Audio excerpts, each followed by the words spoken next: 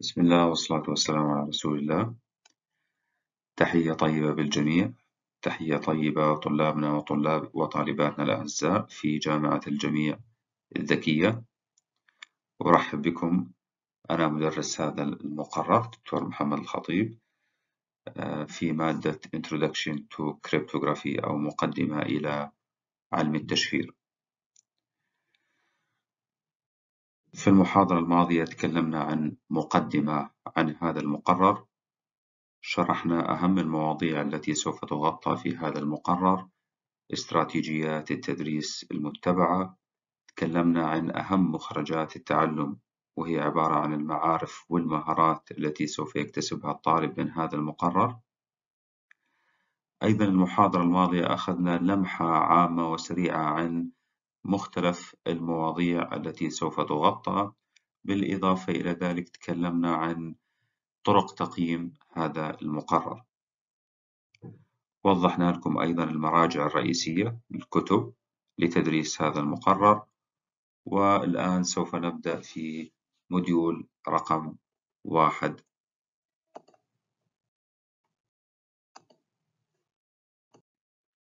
تحديدا في محاضرة اليوم. سوف نتكلم عن أهم المبادئ والمفاهيم المتعلقة بعلم التشفير. سوف نتكلم عن أهم وظائف خوارزميات التشفير وأهم الخدمات الأمنية التي تقدمها هذه الخوارزميات. المواضيع التالية تحديدا سوف تغطى في module رقم واحد Overview on the field of cryptology Principles and functions of crypto algorithms Basic of Symmetric Cryptography Classical Cryptography.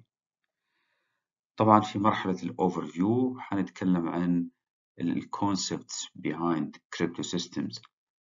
إيش نقصد بنظام التشفير؟ ما هو المقصود بال plain text ما هو المقصود بال cipher text principles and functions راح نتكلم من خلالها عن أهم الوظائف اللي تؤديها أنظمة التشفير.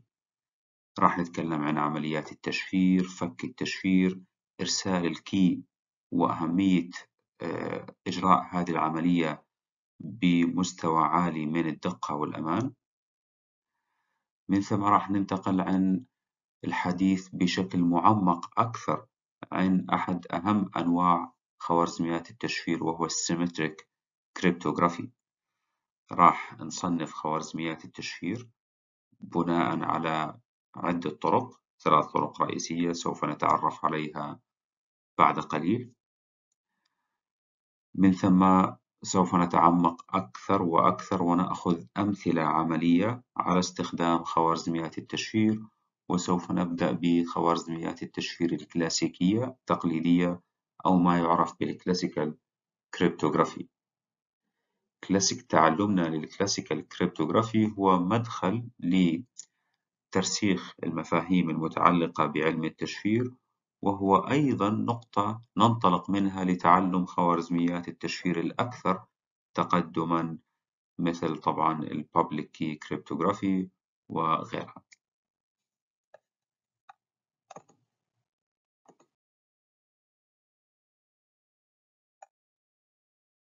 هنا قبل البدء نود نعطي لمحة عامة عن علم التشفير. هنا طبعًا تجدون في هذا المخطط وهذا المخطط يختصر الكثير. تجدون في في قمة المخطط مصطلح cryptology cryptology يعني العلم الذي يشمل ال cryptography علم التشفير وال cryptanalysis هو العلم المقابل لعلم التشفير.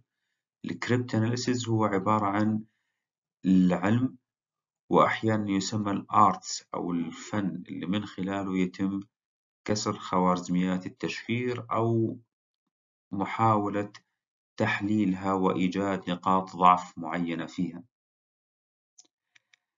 الكريبت أناليسيس طبعا جدا جدا مهم حتى نستطيع التحقق من مستوى أمان خوارزمية تشفير معينة يجب أنه يتم إجراء عدد من المحاولات لإيجاد نقاط ضعف إيجاد إجراء عدد من المحاولات لكسر هذه الخوارزمية حتى يتم التحقق من مستوى الأمان لها. نأتي هنا على اليسار هنا علم التشفير. هنا علم التشفير هو العلم الذي يعنى بدراسة خوارزميات التشفير والبروتوكولات المرتبطة بها. خوارزميات التشفير أو ال crypto algorithms ممكن تصنيفها إلى نوعين رئيسيين. النوع الأول Symmetric Ciphers وهي باختصار خوارزميات تشفير تستخدم مفتاح واحد فقط يستخدم هذا المفتاح لإجراء التشفير ولفك التشفير. هذه الخوارزميات بدورها يمكن تقسيمها إلى Public Ciphers و Stream Ciphers. طبعا هذا التقسيم جاء تبعا لطبيعة العمليات التي تجرى والتي من خلالها يتم التعامل مع مجموعة ال binary bits في النص الأصلي وتحويلها إلى مجموعة أخرى من ال binary bits تمثل النص المشفر حنشوف إنه ال block cipher يقوم بتشفير كل block على حدة كل مجموعة من ال binary bits على حدة بينما ال stream cipher واللي هو النوع المفضل لل small and embedded devices اللي هي الأجهزة التي لها مصدر محدود من الطاقة واللي عندها طبعا resources جدا بسيطة فهي تفضل استخدام stream cipher لأنه ال stream cipher يقوم بتشفير كل binary bit على حدة. النوع الآخر من خوارزميات التشفير يسمى ال asymmetric cipher أو ما يعرف بال public key cryptography. هذا النوع يستخدم مفتاحين لإجراء عمليات التشفير وفك التشفير هو يستخدم مفتاح عام Public Key يستخدم لإجراء التشفير وأيضا مفتاح خاص أو Private Key يستخدم لفك التشفير. وراح نشوف إنه ال public key cryptography أو ال asymmetric cipher وال symmetric cipher كلاهما يستخدم لإنشاء secure protocol لتبادل البيانات عبر شبكة الاتصال. فمثل ما لاحظنا هنا الآن هذا الشكل أو المخطط يعطينا خلاصة وهيكلية عامة لعلم التشفير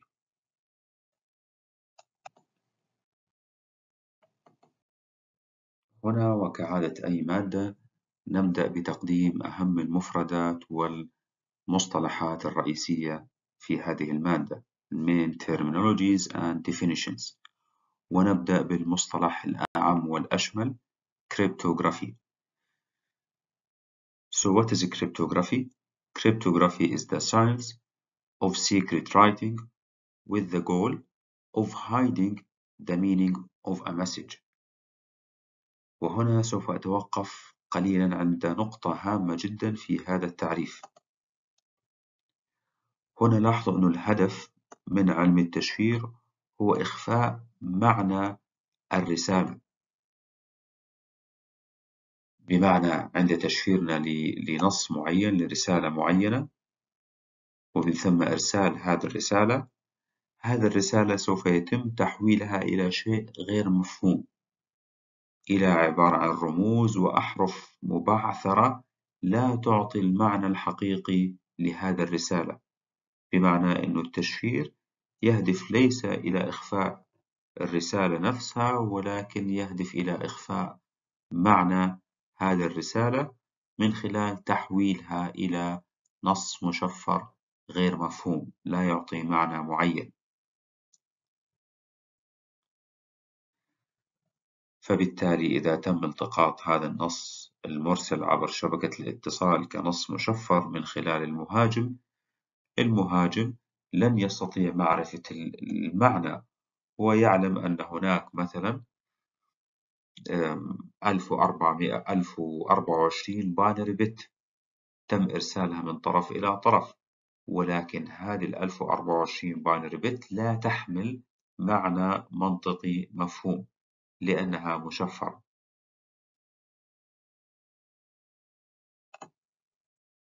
المصطلح الآخر cryptanalysis cryptanalysis is the science and sometimes the art of breaking crypto systems إذا الكريبتاناليسيس هو عبارة عن علم موازي لعلم التشفير يهدف إلى استخدام قواعد رياضية إلى استخدام العلم والتحليل وأحيانا إلى استخدام أيضا الفن من أجل كسر خوارزميات التشفير.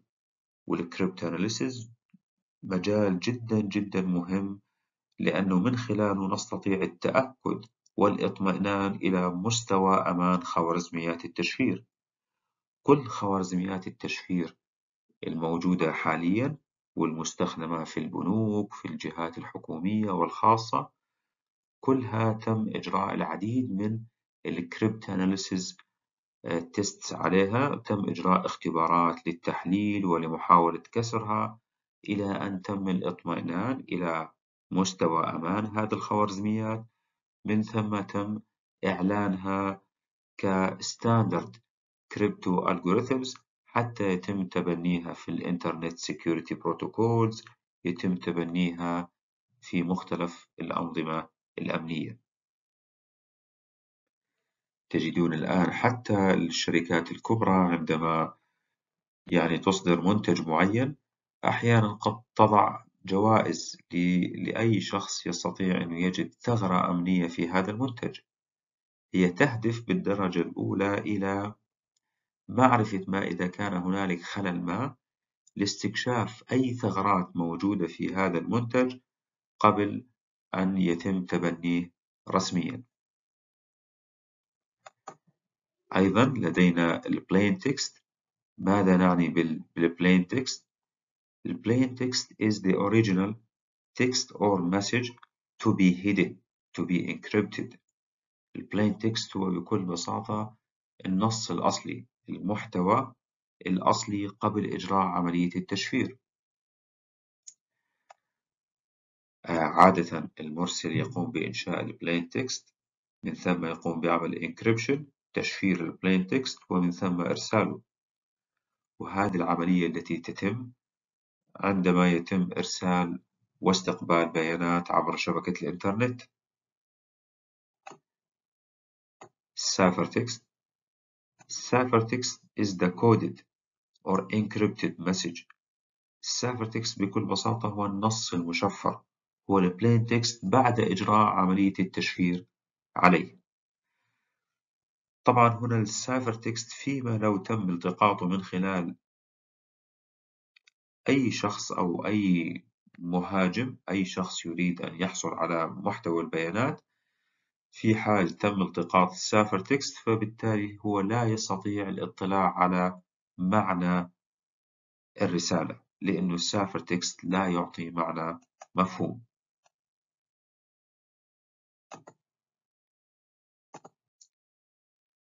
نكمل هنا في آه، عرض أهم المصطلحات في مجال التشفير.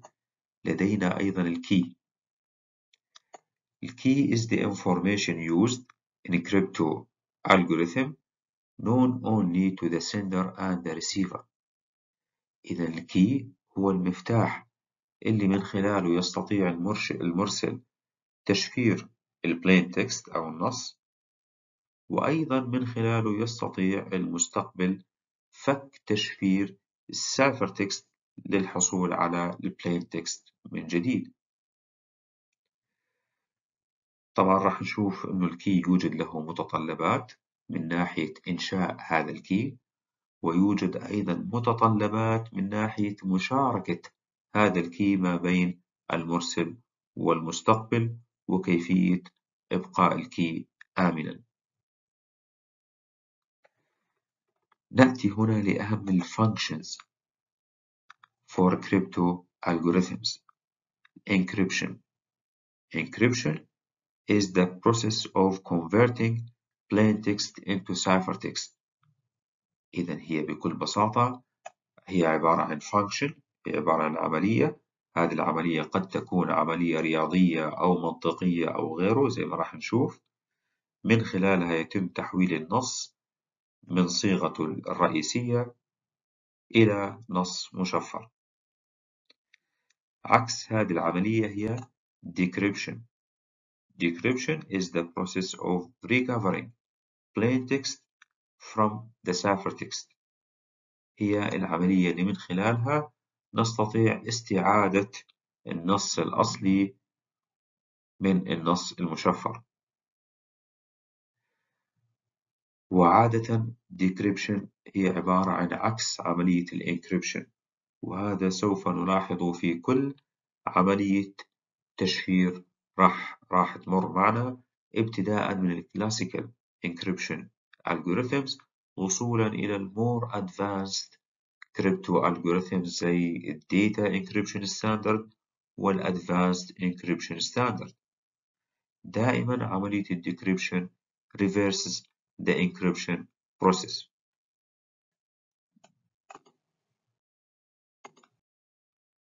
أتابع معكم أعزائي الطلاب في module رقم واحد. أيضا لدينا مصطلحات جدا هامة في مجال خوارزميات التشفير لدينا مصطلح ال cipher ماذا نعني ب cipher؟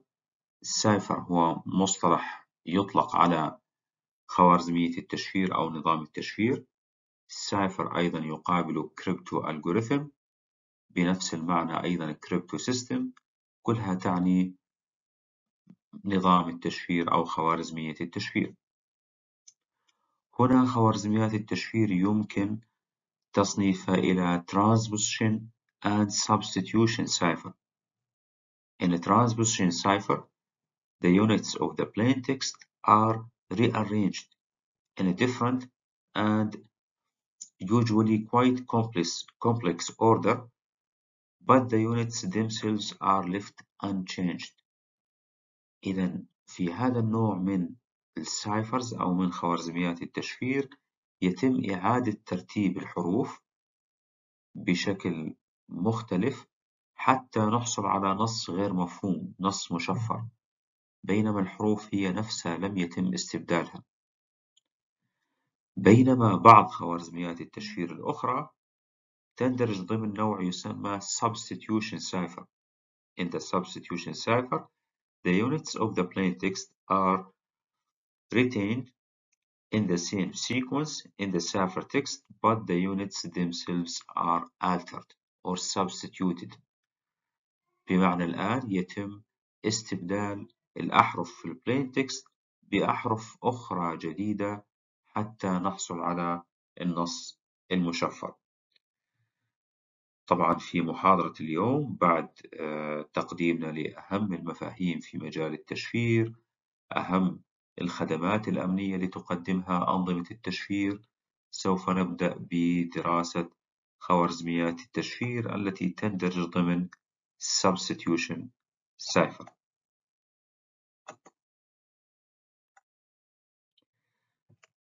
أيضا يمكن تصنيف خوارزميات التشفير اللي هي من نوع substitution cipher إلى monoalphabetic cipher and polyalphabetic cipher The monoalphabetic cipher uses fixed substitution over the entire message بمعنى إنه في هذا النوع يتم استبدال الحرف بحرف واحد فقط وهذا الاستبدال هو ثابت أو ما يطلق عليه ب one to one mapping بمعنى إذا استبدلنا الحرف A في النص الأصلي بالحرف X فأي تكرار للحرف A سوف يتم استبداله بالحرف X. في البولي alphabetic cipher لا طبعا هنا عملية substitution is not fixed بمعنى ممكن التكرار الأول للحرف A يتم استبداله بالحرف X بينما التكرار الثاني للحرف A يتم الاستبدال أو استبداله بالحرف K. وهذا طبعا يعطي مستوى أفضل من الأمان مثل ما راح نشوف بعد قليل. طيب. الآن وقبل ما نتعمق في خوارزميات التشفير دعونا نلقي نظرة عامة على عملية التشفير. كيف تتم هذه العملية؟ هنا طبعا لدينا الصورة الكبرى. مع إخفاء الكثير من التفاصيل. هنا هذه الصورة توضح لنا نظام التشفير العام. لاحظوا الآن نظام التشفير يعمل كالتالي لدي مسج. هذه ال message طبعا للتذكير بالمصطلحات التي درسناها للتو هي ال plain text أي النص الأصلي قبل بدء عملية التشفير. ولدينا طرفي الاتصال. طرفي الاتصال هم المرسل أليس والمستقبل بوب. وهذه مجرد تسميات اصطلاحا. أليس تريد إرسال رسالة بشكل آمن إلى بوب. وهنا دائما أي نظام تشفير يفترض أو يعتقد بوجود إيف وأحيانا يسمى أوسكار. إيف هي اختصارا للإيفستروبر اللي هو الأتاكر أو المتصنت الذي يهدف إلى الاطلاع على محتوى الرسائل المرسلة ما بين الطرفين وبالتالي تهديد خصوصية المعلومات. يهمنا عند إرسال أي رسالة عبر شبكة الاتصال أن لا يستطيع أي أحد الوصول إلى معنى ومحتوى هذه الرسالة إلا الأشخاص المسموح لهم بذلك. من هم الأشخاص المسموح لهم بذلك؟ فقط ال sender وال receiver في السيناريو اللي موجود أمامنا الآن أليس وبوب. إذا نفترض أنه ال eavesdropper دائما موجود إيف أو أوسكار. طيب هنا ماذا يلزم؟ أليس أن, أن تعمل؟ أليس تحتاج إلى قبل إرسال الرسالة عبر شبكة الاتصال؟ تحتاج إلى عمل encrypt.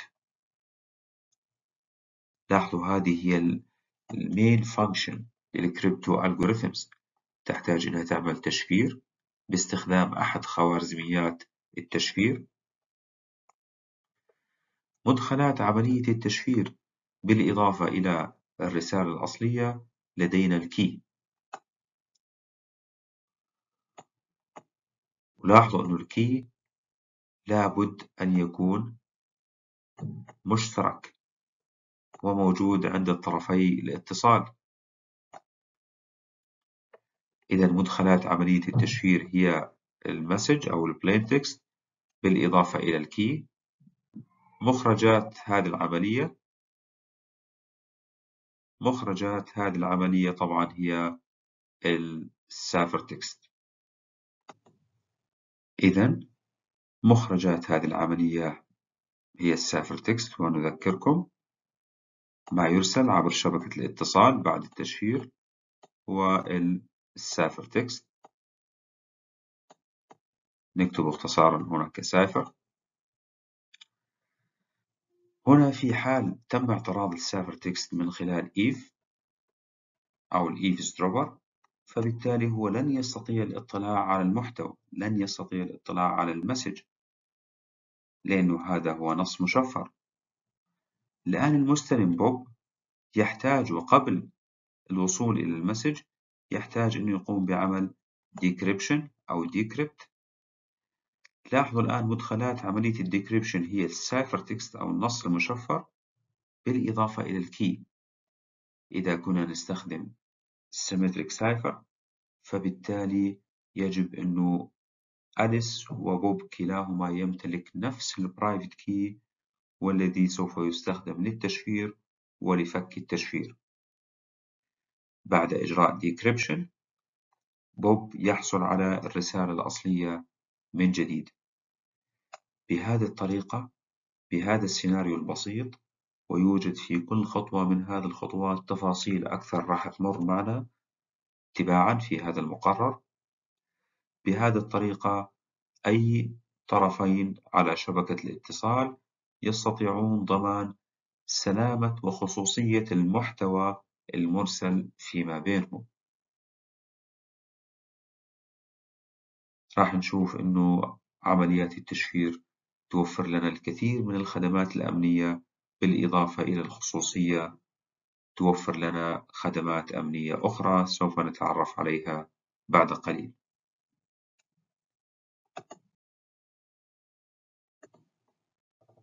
نتابع معكم. هنا سوف نتحدث عن Goals of Cryptography. ما هي أهداف علم التشفير؟ Goals of Cryptography indicates the security services that will be provided by crypto algorithms. هنا الهدف من استخدام أي نظام تشفير هو توفير خدمات أمنية معينة. ما هي هذه الخدمات؟ أول خدمة أمنية وأتوقع يمكن تكلمنا عنها ضمنيا في السلايد السابق وهي ال confidentiality. Confidentiality means keeping information secret from non-authorized entities. الآن لما أليس وبوب زي ما شفنا في السلايد السابق يتبادلوا الرسائل فيما بينهم بعد تشفيرها عند عملية الإرسال وفك تشفيرها عند الاستقبال فبالتالي هم يهدفون من استخدام خوارزمية التشفير إلى تأمين سرية البيانات والمعلومات المرسلة. فالconfidentiality أو السرية هي من أهم الخدمات الأمنية التي نحصل عليها من خلال خوارزميات التشفير. أيضا بماذا ممكن نستفيد؟ ما هي المين services that can be provided by encryption and decryption by crypto algorithms. data integrity. Data integrity أو تكامل البيانات means to ensure the information not being altered or falsified or modified by unauthorized entities. الانتجريتي تهدف هي عبارة عن خدمة أمنية تهدف إلى حماية تكامل البيانات، سلامة البيانات من التعديل الغير مسموح به من قبل أشخاص لا يمتلكون الصلاحية. فمثلا عند إرسال رسالة ما بين طرفين على شبكة الاتصال يهم الطرف المرسل والمستقبل ضمان عدم التعديل على هذه الرسالة أثناء الإرسال. ضمان أن المعلومات تم استلامها تماما كما تم إرسالها من خلال الطرف المرسل.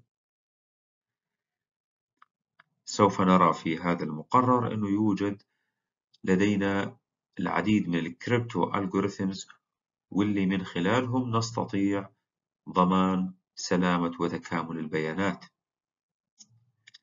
أيضا ال authentication which means the identification between parties.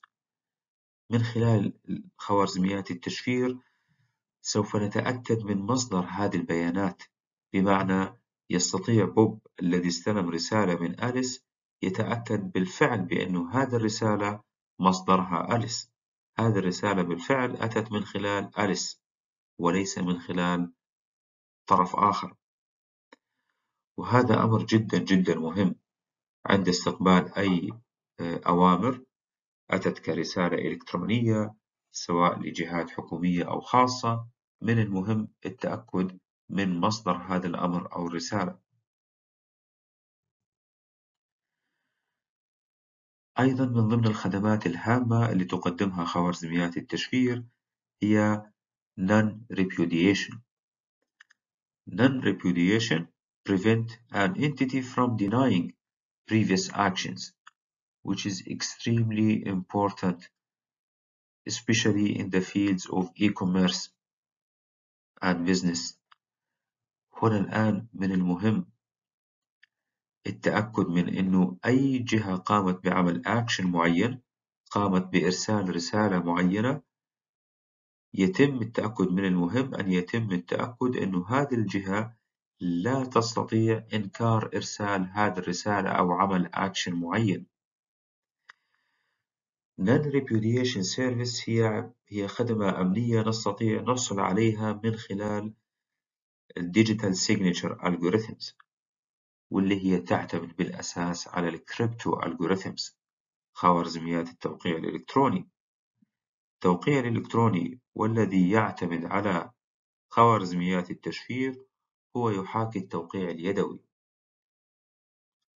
الآن لما أنت توقع على وصل مالي معين لما توقع على عقد معين عقد شراء أو عقد بيع ما هو الهدف من توقيعك؟ على هذا العقد؟ الهدف هو إثبات مسؤوليتك عن هذا الأمر أو العقد وعدم قدرتك كشخص على التنصل من هذه المسؤولية لاحقًا، وهذه وهذا هو نفس الغرض الذي تسعى له خوارزميات التشفير الإلكتروني من خلال توفير Non-Repudiation Service. راح نشوف إنه خوارزميات ال digital signature واللي هي تعتمد على أنظمة التشفير لها العديد العديد من الاستخدامات في الأنظمة التجارية والأنظمة المالية حاليًا، وهذا ما سوف نتطرق له في الدروس القادمة في هذا المقرر إن شاء الله.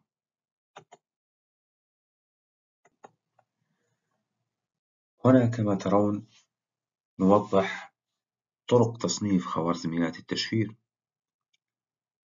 هنا يوجد ثلاث طرق رئيسية لتصنيف أنظمة وخوارزميات التشفير.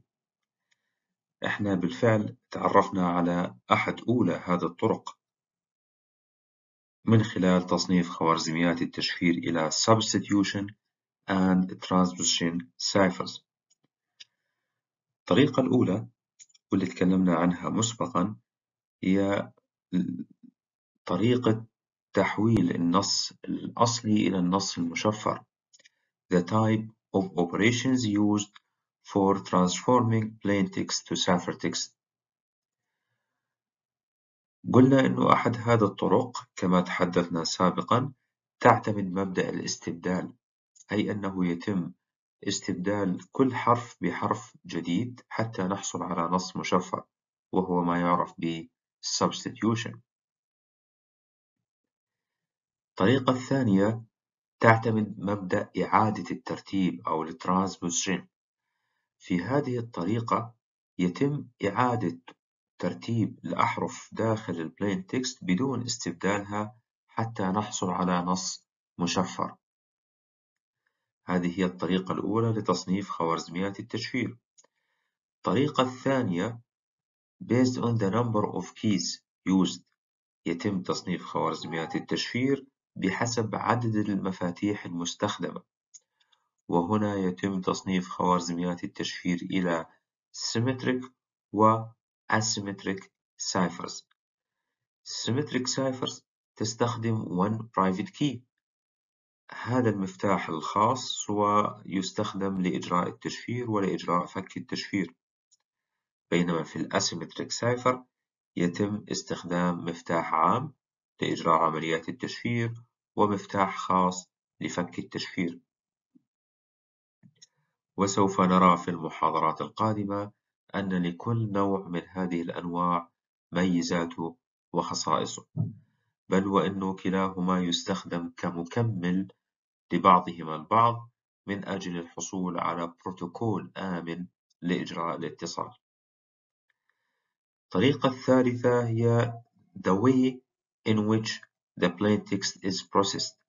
هي عبارة عن الطريقة اللي يتم فيها التعامل مع ال binary bits في ال plain text وهنا يتم تصنيف خوارزميات التشفير إلى block cipher و stream cipher طيب. هنا نتكلم عن موضوع جدا مهم وهو Secure Crypto Systems. What do we mean by Secure Crypto Systems? ما هو نظام التشفير الآمن؟ Crypto system is computationally secure هو آمن حسابيا ومنطقيا بناء على التكنولوجيا المتاحة إذا تحققت فيه الشروط التالية Cost of breaking cipher exceeds value of information إذا كانت تكلفة كسر خوارزمية التشفير تتجاوز قيمة المعلومات التي سوف يتم الحصول عليها عند كسر التشفير.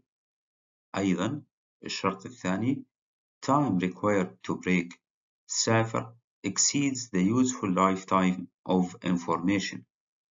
إذا كان الوقت اللي يحتاجه المهاجم لكسر هذه الخوارزمية يتجاوز العمر الافتراضي للمعلومات. بمعنى الآن وعلى سبيل المثال خوارزميات التشفير الحديثة نقول إنها آمنة لأن المهاجم يحتاج إلى ما يقارب العشرين سنة باستخدام التكنولوجيا المعروفة حاليًا يحتاج إلى ما يقارب عشرين سنة حتى يستطيع كسر هذه الخوارزمية. فلذلك هي آمنة لأنه العمر الافتراضي للمعلومات المشفرة يكون قد انتهى بعد مرور هذه الفترة.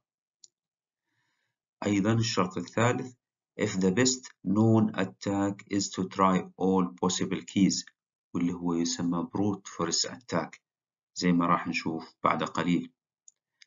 يعني بمعنى آخر هنا الخاصية الثالثة آه، تعني عدم وجود أي باك دور أو أي آه، طريق مختصر يستطيع من خلاله المهاجم كسر هذه الخوارزمية. إذا كان الطريق الوحيد أمامه الموجود هو أنه يبقى يحاول ويجرب كل المفاتيح المحتملة إلى أن يجد المفتاح الصحيح. فبالتالي إذا توافرت هذه الشروط الثلاث نقول أن نظام التشفير هو نظام تشفير آمن منطقيا وحسابيا. طيب متى يكون نظام التشفير غير آمنا؟ Crypto system is insecure. If any shortcut attack is known. فإذا كان يوجد طريق مختصر لكسر هذه الخوارزمية هذا النظام غير آمن. سوف نرى أن بعض أنظمة التشفير إذا اعتمدنا على ال brute force attack وهي محاولة إيجاد كل ال keys المحتملة نحتاج إلى وقت طويل جدا. بينما يوجد طريق آخر مختصر نستطيع من خلاله كسر هذه الخوارزمية بدقائق. فهنا هذه الخوارزمية تعتبر غير آمنة. فإذا وهنا مهم جدا نركز على هذه النقطة. خوارزمية التشفير تكون آمنة إذا كان الطريق الوحيد فقط المتاح لكسرها هو بمحاولة كل المفاتيح المحتملة وهذه المحاولات تحتاج وقت طويل جدا بحيث يكون العمر الافتراضي بحيث يكون العمر الافتراضي للبيانات قد انتهى بعد مرور هذه الفترة. هنا نقول أن هذه الخوارزمية الآن هي آمنة. Usually very difficult to estimate the amount of effort required to break. However we can estimate the time or cost of brute force attack. عادة درجة أمان خوارزمية معينة يقيم من خلال الوقت المطلوب لكسر هذه الخوارزمية باستخدام ال brute force attack. ال brute force attack سوف نتكلم عنه بالتفصيل بعد قليل. إذا كان يحتاج وقت طويل جدا فيعني درجة أمان هذه الخوارزمية تقدر وتقيم من خلال هذا الوقت نعم So what is brute force attack or brute force search? Brute force attack is the process of trying every possible key until an intelligible translation of the ciphertext into plain text is obtained. هي عبارة عن محاولة كل أنواع ال keys المحتملة. طيب هنا الآن لو أخذنا مثال بسيط حتى نفهم ال brute force attack. لو فرضنا إنه ال key المستخدم اللي استخدمته للتشفير هو عبارة عن one binary bit. binary bit واحد. ما هي القيم المحتملة لل key؟ لو سألنا نفسنا إذا كنت أنا مهاجم attacker وأريد أن أعرف ال key المستخدم في تشفير نص معين وهذا ال key مكون من one binary bit. ما هي القيم المحتملة لل key الإجابة إنه ال key إما يكون قيمته واحد أو تكون قيمته zero إذا في عندي two possible keys. طيب لو قلنا إنه ال key يحتوي على اثنين binary bits فبالتالي اثنين binary bits إذا لدي أربعة possible keys لماذا؟ لأنه اثنين binary bits القيم المحتملة لها إما واحد واحد أو صفر صفر أو واحد صفر أو صفر واحد إذا لدي أربع قيم محتملة ما هي العلاقة؟ العلاقة هي اثنين power عدد ال binary bits. سوف نجد أن خوارزميات التشفير الحديثة الآن تحتوي على مفتاح أو تستخدم مفتاح تشفير يحتوي على على الأقل مثل ال AES 128 binary bit واللي هي تعتبر جدا آمنة. لأنه المهاجم في هذه الحالة يحتاج إلى 2 power 128 محاولة on average في المتوسط تقسيم 2 حتى يجد الكي. ولإجراء هذا العدد الكبير من المحاولات يتطلب زمن طويل جدا. فمثلا هنا لو كان مفتاح التشفير المستخدم بطول 32 بت. طبعا المهاجم يحتاج طبعا هذا الجدول يوضح تقدير أو تقييم الوقت المستخدم بالاعتماد على حجم ال key. فلو كان حجم ال key 32 bit نجد الوقت هو 2.15 millisecond إذا كان 56 bit فيحتاج المهاجم إلى 10 ساعات. طيب إذا كان ال... الوقت المستغرق هو أو ال key حجم ال key هو 128 bit فيحتاج التاكر إلى عشرات السنين. وهكذا كل ما زدنا حجم الكي كل ما احتاج المهاجم إلى وقت أطول من إجراء المحاولات حتى يجد الكي المطلوب. نجد الآن خوارزميات التشفير الحديثة زي ال AES تدعم keys بأطوال تصل إلى 256 bit لغاية توفير مستوى أعلى من الأمان. طيب why cryptography لماذا أنظمة التشفير؟ لماذا نحتاج لدراسة أنظمة التشفير؟ Information security is a big topic. There are many many fields in the, the area of information security. عندي الكثير من المجالات في هذا العلم تتضمن الكريبتو algorithms, access controls, protocols, software, real world info security problems, and many, many other fields. Cryptography is the part of information security that works best. فبالتالي الكريبتوغرافي هو يعتبر من أفضل الأدوات بمعنى آخر يعتبر من أفضل الأدوات التي من خلالها أستطيع ضمان أمن أنظمة المعلومات والبيانات المرسلة عبر شبكة الاتصال. باستخدام أنظمة التشفير أستطيع يقينا وعلميا وحسابيا أستطيع أني أحدد مستوى الأمان لخوارزمية معينة بشكل مؤكد وهذا هو المطلوب في مجال ال information security. ولكن طبعا استخدام خوارزمية التشفير بشكل صحيح هذا جدا مهم.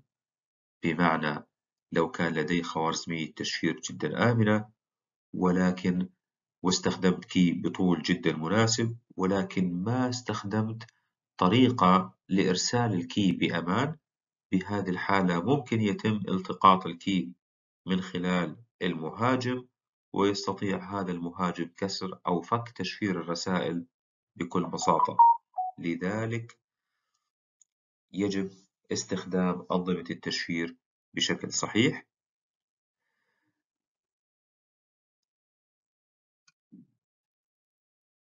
هنا طبعا سوف نبدأ بالتطرق والتعمق من خلال دراسة أولى أنواع أنظمة التشفير وهو ما يسمى ب Symmetric Cryptography Symmetric Cryptography أو Symmetric Crypto Algorithms تتضمن أنه كلا الشخصين يجب أن يمتلك one private key. هذا ال key يجب أن يتم إرساله بأمان وهذا ال key يستخدم للتشفير. وفك التشفير. هذه الخوارزميات هي ليست حديثة كليا هذه الخوارزميات كانت معروفة منذ القدم أو أو خوارزميات تندرج ضمن هذا النوع كانت معروفة منذ القدم. تم تطويرها على مر السنين. حاليا يوجد أيضا خوارزميات من نوع أو تندرج ضمن نوع ال symmetric ciphers هي طبعا على درجة عالية من الأمان ومن أشهرها ال Advanced Encryption Standard أو ال AES حاليا أغلب المستندات وأغلب البيانات اللي يتم تشفيرها يتم تشفيرها باستخدام ال AES وهذا دليل على إنها تعطينا درجة عالية من الأمان. طيب.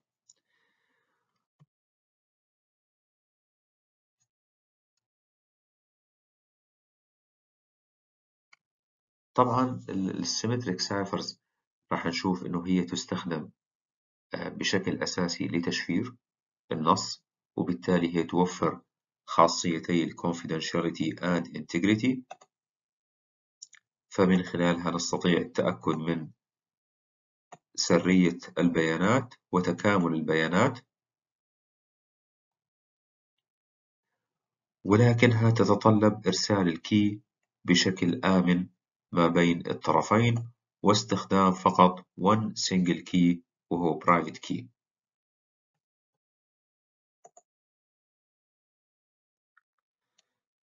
في الطرف الآخر ال Asymmetric Algorithms تعتبر نوع جديد نوعا ما من خوارزميات التشفير تم ظهورها في سنة ظهور الأول لها كان في سنة 1976 من أشهر أنواعها هو ال RSA الجمل و ECC طبعا نذكركم بأنه ال Asymmetric Algorithms تسمى Public Key Cryptography. هي Public Key Cryptography لأنها بالفعل تستخدم Public Key وهو يستخدم للتشفير ولكنها أيضا تستخدم Private Key معلوم لدى فقط الشخص المستقبل والذي سوف يقوم بإجراء فك التشفير.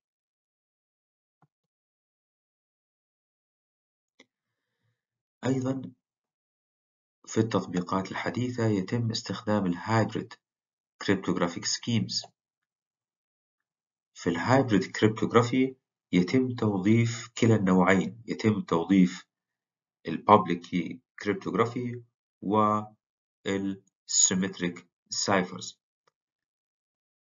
بمعنى يتم توظيف ال public cryptography على سبيل المثال لضمان إرسال ال key بشكل آمن ما بين الطرفين. ومن ثم يتم توظيف symmetric ciphers لتشفير وفك تشفير الرسائل باستخدام هذا ال key. ففي ال hybrid protocol يتم استخدام كلا النوعين لضمان توفير الخدمات الأمنية المطلوبة. نعم. في هذا المخطط نوضح ال basic scenario for symmetric cryptography تحدثنا قبل قليل عن ال symmetric cryptography والآن نتكلم عن الموضوع بشكل أكثر وضوحا من خلال الشكل التالي. فهنا باستخدام ال symmetric cryptography مثال عليها ال AES algorithm. هنا أليس أو المرسل تحتاج إنها تقوم بتشفير النص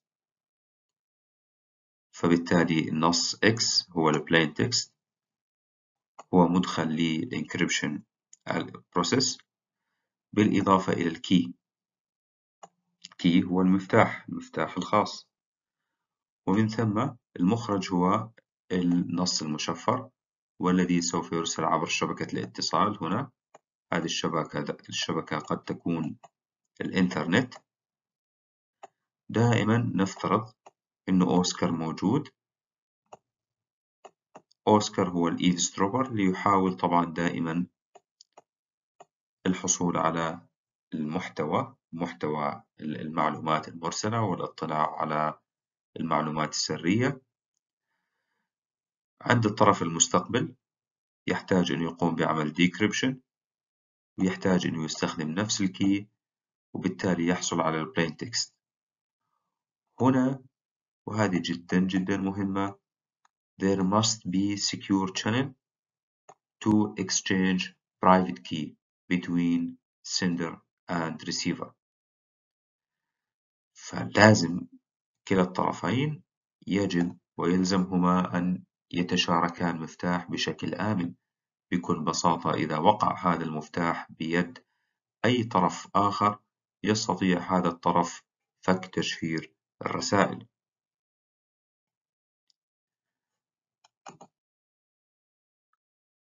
هنا الآن نتكلم وباختصار عن الكريبت أناليسيس حتى نكون قد شملنا كل أبعاد وأغلب المصطلحات المتعلقة بمجال التشفير لازم أن نتكلم عن العلم الموازي وهو الكريبت أناليسيس الكريبت أناليسيس يمكن تقسيمهم إلى ثلاث أنواع رئيسية. Classical Cryptanalysis Techniques هي عبارة عن تقنيات من خلالها يتم محاولة إيجاد نقاط ضعف وكسر خوارزميات التشفير. وتنقسم إلى Mathematical Analysis يتم استخدام تقنيات رياضية بناء على نظريات رياضية معينة. وأيضا لدينا ال brute force attack. brute force زي ما تكلمنا عنه قبل قليل هي محاولة إيجاد ال key من خلال إجراء كل المحاولات الممكنة تجربة كل ال keys الممكنة. أيضا لدينا النوع الآخر من ال cryptanalysis techniques يسمى ال implementation attacks. ال implementation attacks من خلالها يحاول المهاجم إيجاد ثغرة في تطبيق خوارزمية وعمليات التشفير. أيضا لدينا ال social engineering attacks. Social engineering attacks من أصعب العوائق باتجاه تأمين خوارزمية التشفير لأنه بكل بساطة باستخدام ال social engineering يحاول ال attacker خداع الضحية من أجل الحصول على معلومات معينة تساعد في كسر خوارزمية التشفير. وهو بهذه الطريقة بمعنى آخر يحتال على خوارزمية التشفير. فمثلا إذا استطاع الأتاكر بشكل أو بآخر أنه يحصل آه، يخدع آه، المستقبل ويحصل منه على الكي هنا بغض النظر عن خوارزمية التشفير ومدى أمانها فبالتالي يستطيع الأتاكر أنه يفك التشفير. فلذلك ال social engineering attack أحيانا يشار إليها على أنها unfair attack بمعنى أنه المهاجم في هذه الحالة ما قام بعمل تحليلات رياضية أو إيجاد ثغرات في الخوارزمية نفسها وإنما هو استخدم ال social engineering attack من أجل أن يخادع الضحية ويحصل على معلومات خاصة زي ال key مثلا والتي تساعد في فك التشفير. نعم. هنا لدراسة خوارزميات التشفير يجب علينا أن نأخذ مبادئ ال modular arithmetic modular arithmetic طبعا هي عبارة عن إجراء عمليات رياضية ومن ثم إجراء عملية ال mod أو باقي القسمة. ما هو هدف ال mod؟ هدف استخدام ال mod هو ضمان إنه أي عملية رياضية تجرى على أي عنصر. داخل حقل معين الناتج يجب أن يبقى ناتج هذه العملية الرياضية يجب أن يبقى داخل هذا الحقل الناتج يكون عنصر ينتمي إلى هذا الحقل فمثلا إذا كان حقل القيم المتاح هو من صفر إلى القيمة 24 فبالتالي هنا الآن لما نأخذ باقي القسمة أو المود 25 فبالتالي هنا الناتج يجب أن يكون من صفر إلى 24 فهنا على سبيل المثال 13 زائد 16 الناتج 29 ولكن بعد ما نأخذ ال mod mod ال 25 الناتج يصير equivalent أو مكافئ لأربعة mod ال 25 هنا مثلا 13 ضرب 16 الناتج 208 mod ال 25 الناتج يعطينا 8 وهكذا. والآن نبدأ بدراسة أولى أنواع خوارزميات التشفير الكلاسيكية أو ما يسمى بال historical ciphers وتسمى Caesar أو shift cipher Caesar طبعا أو shift cipher هي خوارزمية قديمة. تستخدم عمل shift للأحرف واللي تم ترجمتها رياضيا أو تم تعريفها رياضيا من خلال ال modular arithmetic عملية التشفير هي بكل بساطة عملية جمع قيمة ال key إلى القيمة العددية لل plain text ومن ثم أخذ ال mod mod الستة وعشرين لماذا mod الستة وعشرين؟ لأنه هنا العناصر هي أحرف اللغة الإنجليزية والتي تبدأ من A إلى Z واللي تعطى القيم العددية الموضحة أمامكم في الجدول من صفر إلى خمسة وعشرين. فحتى نضمن أنه أي عملية جمع ما بين أي عنصرين داخل هذا الجدول يبقى الناتج من صفر إلى خمسة وعشرين فنأخذ دائما للناتج باقي القسمة على ستة وعشرين. عملية فك التشفير هي عبارة عن عكس. وهنا نذكركم فيما تكلمنا عنه في بداية المحاضرة إنه عمليات ال decryption هي عكس لعمليات الإنكريبشن. الآن عملية فك التشفير هي عبارة عن عكس يعني عبارة عن عملية طرح. على وجه الخصوص نقوم بطرح قيمة ال key من قيمة من القيمة العددية لل ciphertext letter. والناتج طبعا نأخذ mod 26 حتى نضمن أنه القيمة أيضا ضمن الحقل المطلوب. طبعا هنا نأخذ مثال حتى تتضح الفكرة. لدينا الكي المستخدم هو الرقم 17 ولدينا أيضا البلين تكست هو كلمة attack.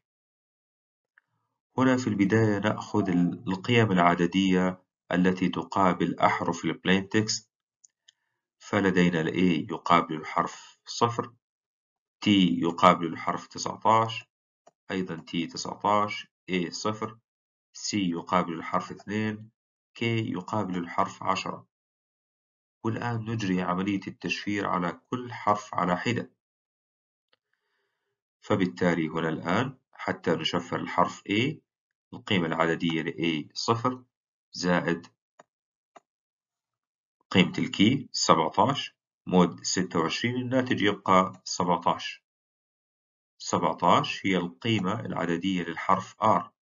وهنا طبعا يعني لا يوجد فرق ما بين ال capital وال small letters في مثالنا هذا.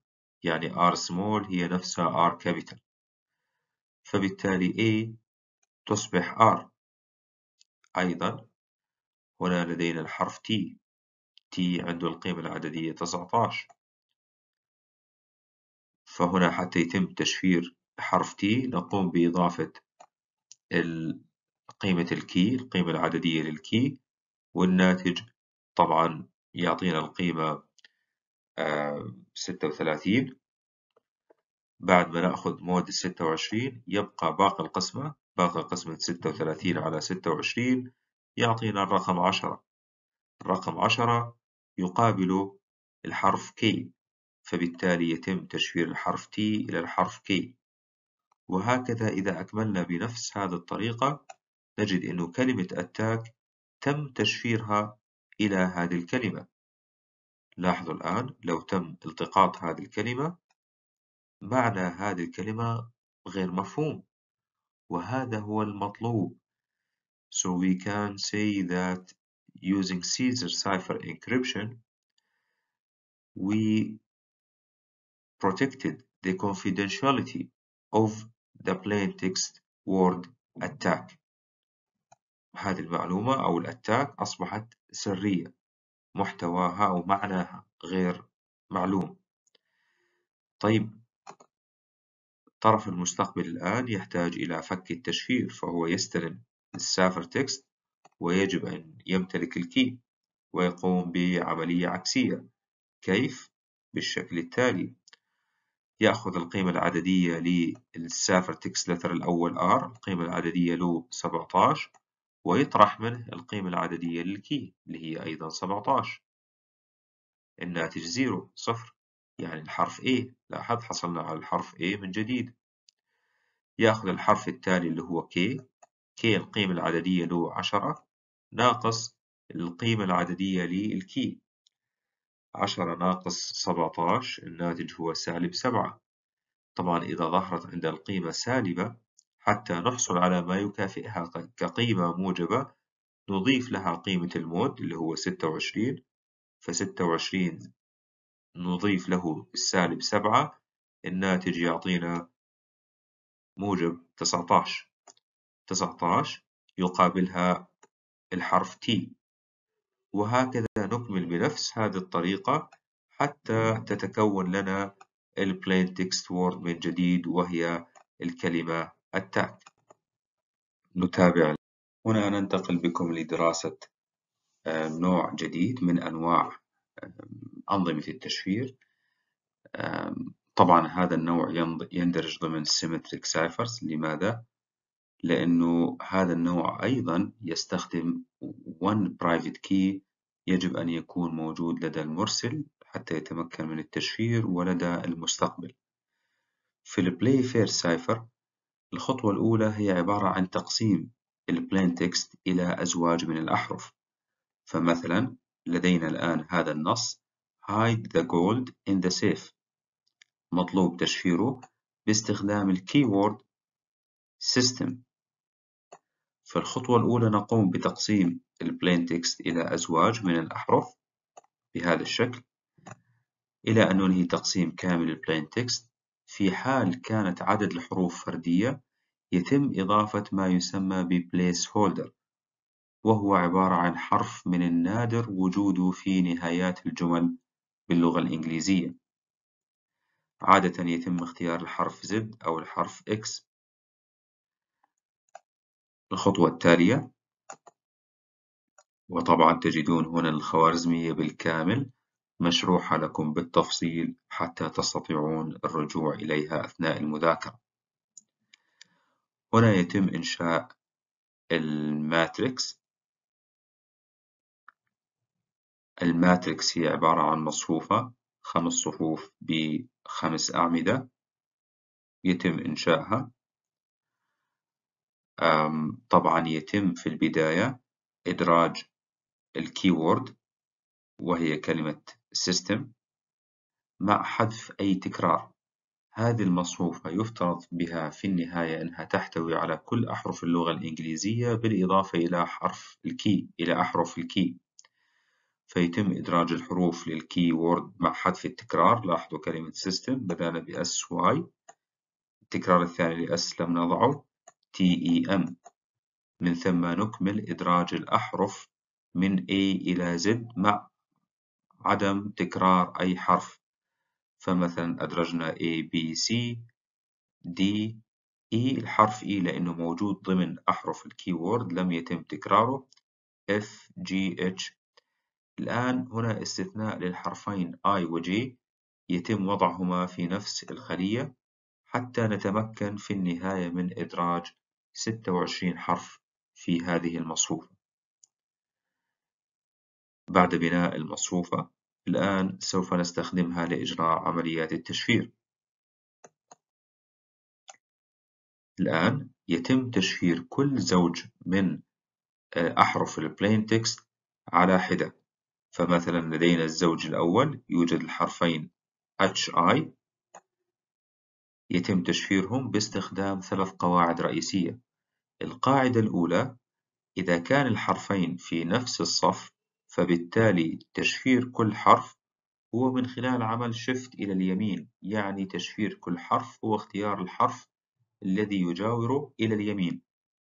فالحرف H يتم تشفيره بالحرف I والحرف I يتم تشفيره بالحرف K.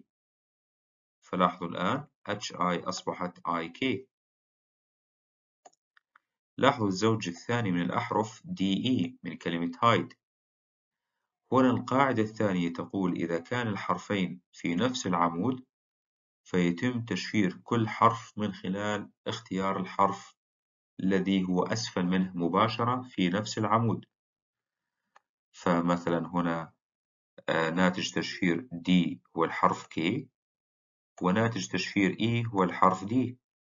طبعا إذا كان الحرف في الأسفل يتم الرجوع إلى أعلى العمود آه، من جديد وإذا كنا في نهاية الصف نرجع إلى بداية الصف من جديد. طيب لاحظوا الآن هنا الحرف TH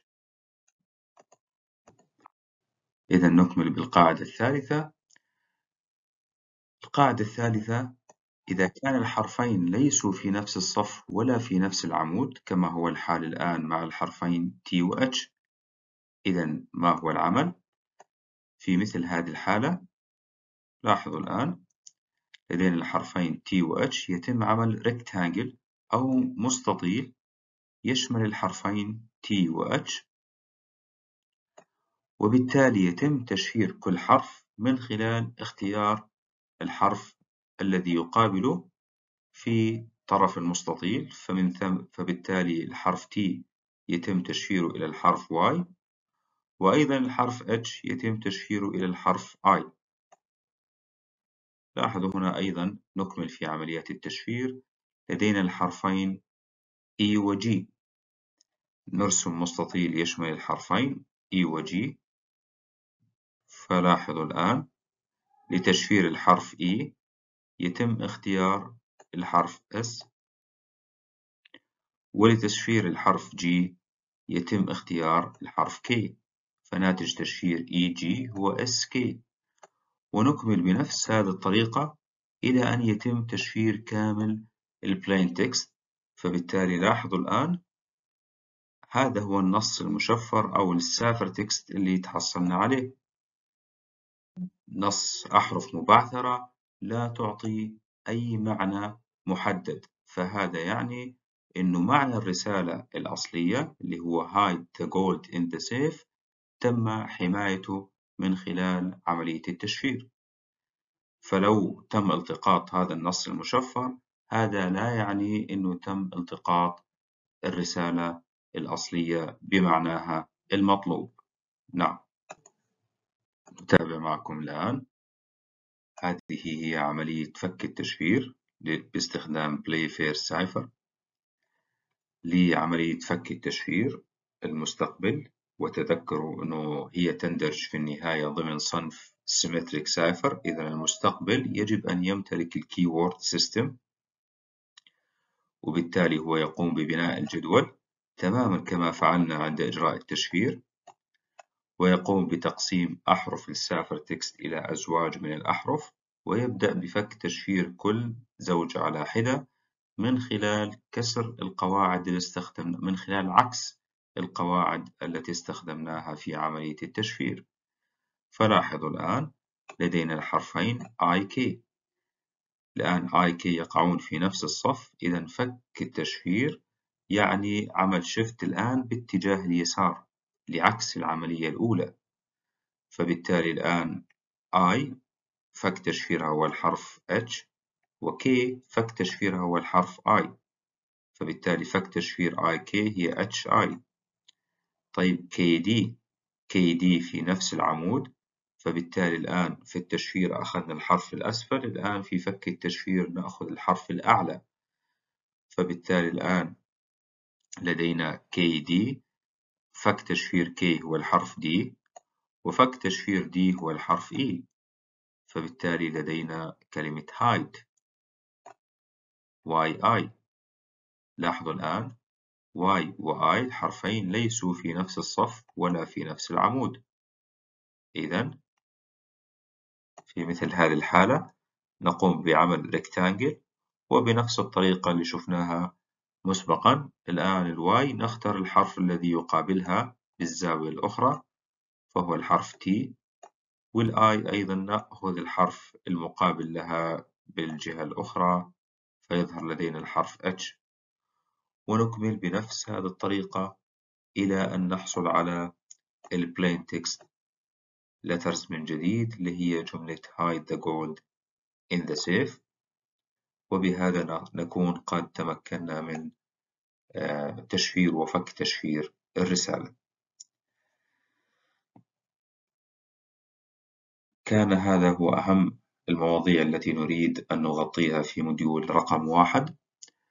تكلمنا عن أهم المصطلحات الرئيسية في مجال التشفير أهم ال functions أو العمليات التي تؤدى تكلمنا عن أهم الخدمات التي نحصل عليها من خوارزميات التشفير أهم أنواع هذه الخوارزميات ومن ثم تطرقنا إلى أمثلة لخوارزميات التشفير ورأينا بشكل عملي ومباشر كيف تتم هذه العملية في المواضيع القادمة إن شاء الله الأسابيع القادمة سوف نستمر بالتطرق إلى مواضيع أكثر تقدمًا في مجال التشفير. شكرًا جزيلًا لحسن استماعكم ونتمنى أن تكون الفائدة قد تحققت للجميع. السلام عليكم.